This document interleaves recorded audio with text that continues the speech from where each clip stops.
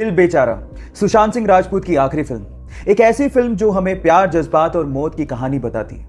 ये फ़िल्म हमें ये बताती है कि लाइफ कितनी है, ये तो हमारे हाथ में नहीं है, लेकिन उसे जीना कैसे है, ये हमारे हाथ में ज़रूर है। ये फ़िल्म जैसे ही ओ टी प्लेटफॉर्म पर रिलीज़ हुई, इसने कामयाबी और रिकॉर्ड्स के झंडे गाड़ दिए।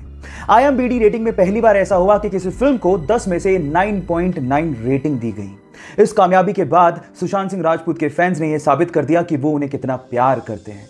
आज सुशांत सिंह राजपूत हमारे बीच नहीं है, लेकिन वो अपने अभिनय और अपनी फ़िल्मों के ज़रिए हमेशा हमारे दिलों में ज़िंदा रहेंगे।